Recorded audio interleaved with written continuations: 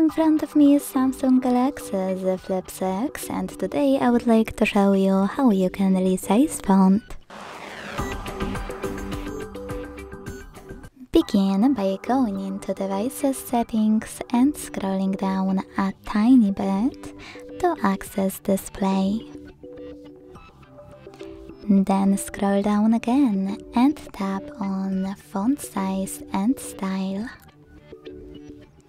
Last but not least, operate this font size slider in order to adjust it and check out preview at the top.